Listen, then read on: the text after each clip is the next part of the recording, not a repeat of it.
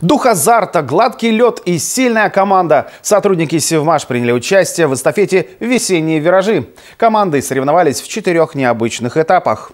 Уверенно стоять на коньках, слаженно работать в команде и первыми прийти к финишу. Тогда победа в кармане. Накануне прошли соревнования среди работников Севмаша. Девять команд приняли участие в эстафете «Весенние виражи».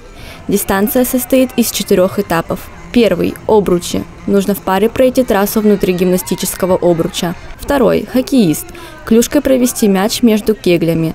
Далее – снайпер. Забить шайбы в намеченную зону.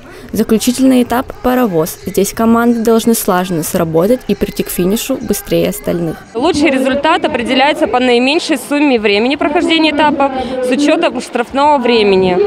При равенстве результатов у двух или нескольких команд предпочтение отдается команде, имеющей меньшее количество штрафного времени. По итогам соревнований первое место заняла команда 42-го цеха. Вторыми стала команда проектно-конструкторского бюро, а пятый цех занял третье место.